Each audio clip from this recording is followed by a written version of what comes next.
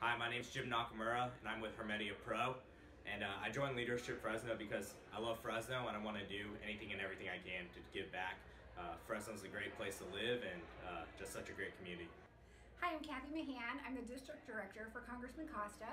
I decided to do Leadership Fresno because I really wanted to get more involved in the community after changing careers. I was a journalist for more than 20 years. Now I'm working for a congressman. It's been a big change.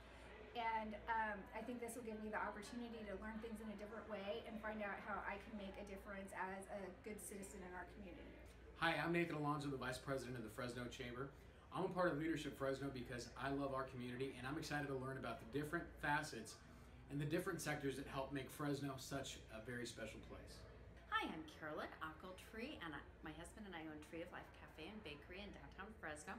And I decided to join because I had gone through Downtown Academy two years ago because I wanted to meet people who are passionate about downtown and what's going on. And a bunch of my Downtown Academy friends went on and did Leadership Fresno, so it just seemed like the right thing to do. So here I am. Ricardo. He works in technology. He's from Miami. Um, he met his wife in LA. They were she was attending a conference and he was vacationing and he met her and literally never left, never went home. she is the executive recruiter at Denham. Is that right? Denham Resources? Denham Resources? Yes. Okay.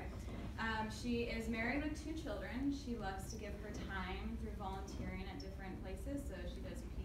This is Mosin and this is Janelle. Okay. Mosin is from Fresno, married, three kids, went to Fresno State, is a consultant at BPM. Janelle is a director at charter schools, married from Fresno, went to Fresno State, and uh, she is passionate about Leadership Fresno because she's heard great things about it, and so is Mosin. Erica moved here about 25 years ago from Arizona, where she's from.